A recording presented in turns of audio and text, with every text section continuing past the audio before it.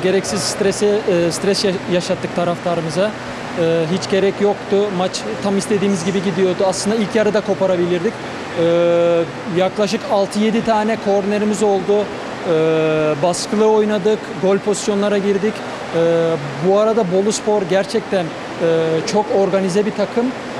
Ne yaptıklarını biliyorlar saha içinde. Onlara karşı oynamak kolay değil. Bence çok önemli bir galibiyet aldık. 3'te 3 yaptık çok şükür.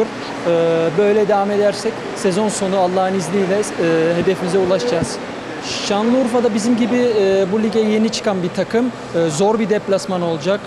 Hava şartları ne olacak bilmiyorum, zemin şartları ne olacak bilmiyorum ama Kocaeli Spor bu ligde her maça 3 puan için çıkar. Ee, Biz de o maça 3 puan için çıkacağız inşallah. Tabii milli arada bunu çalıştık. Ee, Dediğiniz gibi her geçen gün daha iyiye gidiyoruz. Sıfırdan bir takım kurduk. Birbirimize alışma biraz süre aldı. Ee, Daha da biraz zamana ihtiyacımız var. Ama e, iyiye gidiyoruz. Daha da iyi olacağız Allah'ın izniyle. Böyle devam edersek sezon sonu e, hedefimize ulaşacağız. Ben, ya geçen hafta e, Adana maçında dediğim gibi e, lige istediğim şekilde başlayamadım. Takım olarak da istediğim şekilde başlayamadık. Bu gayet normal. İlk haftalarda öyle oluyor.